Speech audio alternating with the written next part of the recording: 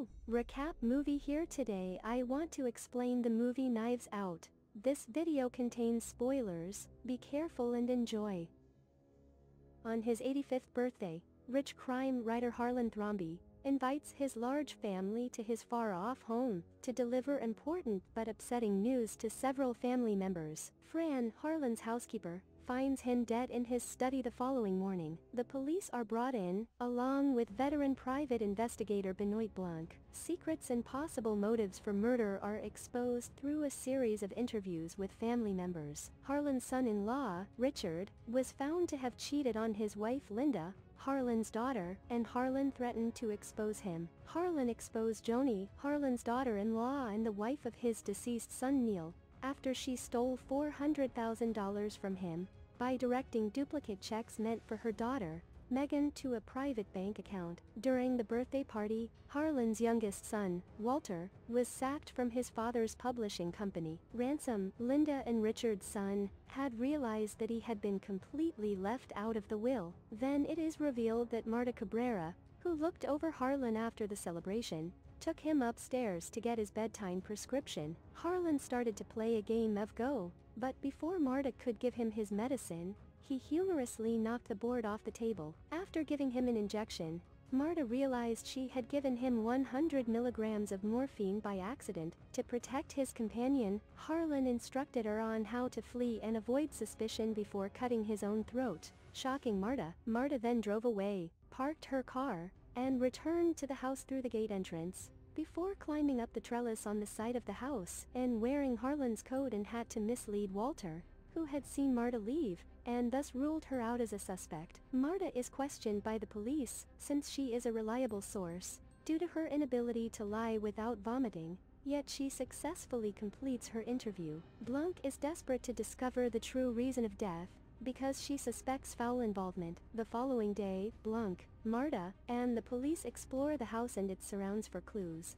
many of which Marta is able to conceal before the detectives discover them. The day of Harlan's will reading arrives, and the family is stunned to see that Harlan left everything to Marta, including his inheritance, the house and his firm. Despite Marta's goodwill the night before, the family swiftly turns on her, but Ransom assists her in escaping. Ransom and Marta then travel to a nearby restaurant, where Ransom persuades Marta to tell him everything. The family members are aware that they will receive their inheritance back if Marta's guilt as the murderer can be established. They insist that the investigation into the murder continue, and Blanc reiterates his suspicion of foul play, while stating that anyone may still be a suspect. This results in Marta receiving a partial photocopy of Harlan's toxicology report and a ransom note that says, I know what you done. Marta and Ransom drive to the medical examiner's office, only to discover it in flames and surrounded by cops. Marta opens her email at Ransom's request and finds an address and time. Blanc notices the duo before they engage in a car chase,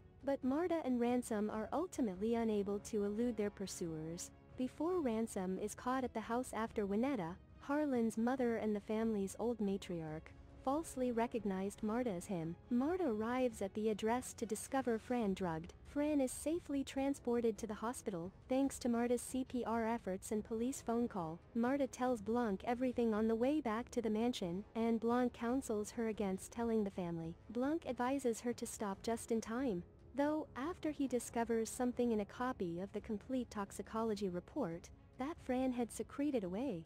Ransom is brought to the house by the police and placed in a secluded room where Blanc and Marta are waiting. Blanc admits that he deduced the murder and proceeds to tell everything he knows. Ransom stormed away the night of the party after finding Marta's fortune from Harlan and intended to frame her for his murder. Ransom changed the pharmaceutical bottle contents and deleted the emergency morphine counter agent, ensuring the morphine overdose. While the rest of the family was at Harlan's funeral, Ransom switched the vials back. That day, Fran saw Ransom in Harlan's study, and deduced his involvement in Harlan's death, prompting her to send him the ransom letter, which Ransom then forwarded to Marta after removing the address. Ransom then set fire to the medical examiner's office. In order to destroy Harlan's blood work, Ransom confronted Fran and drugged her with morphine, nearly killing her. Before destroying the original copy of the toxicology report and emailing Marta Fran's location, in the hopes of convincing police that Marta had murdered Fran. The toxicology analysis later indicates that Harlan wasn't poisoned at all,